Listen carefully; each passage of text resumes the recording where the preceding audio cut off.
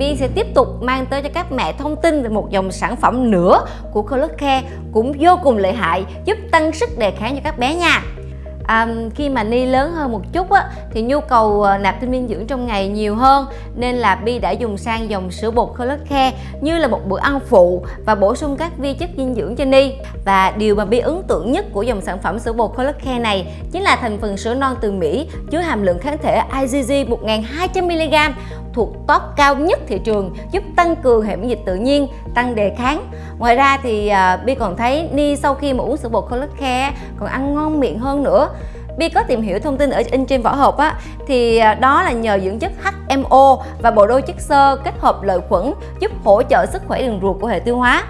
không chỉ tăng sức đề kháng, dòng sữa bột Color Care còn tăng cường DHA giúp phát triển não bộ và thị giác để các con học hỏi và tư duy nhanh nhạy hơn. Vậy nên á, với những bé mà đang hay ốm vặt vì chuyển mùa thời tiết hoặc bệnh truyền nhiễm do vi khuẩn hoặc là lười ăn, chán ăn, uể oải thì cô Bi đặc biệt khuyến khích thử dùng dòng sản phẩm sữa bột Color Care này nha.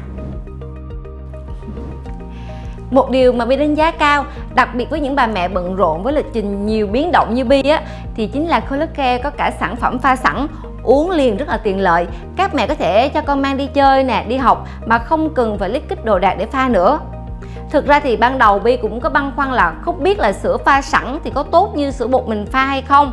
nhưng mà các mẹ ơi Bi đã tìm hiểu và biết được giá trị dinh dưỡng trong sữa pha sẵn giống như trong sữa bột đó. Để Bi đọc cho các mẹ nghe về thành phần dưỡng chất luôn nha. À, trong sữa pha sẵn này nè cũng có sữa non giàu kháng thể IgG giúp tăng cường miễn dịch tự nhiên bảo vệ cơ thể khỏi các tác nhân gây bệnh kết hợp cùng với các dưỡng chất giống như là HMO nè hạn chế vi khuẩn virus xâm nhập giúp giảm tình trạng nhiễm khuẩn.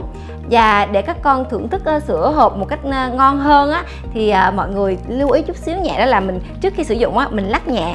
Và sau đó mình để ở nhiệt độ mát á, thì các con uống sẽ ngon hơn.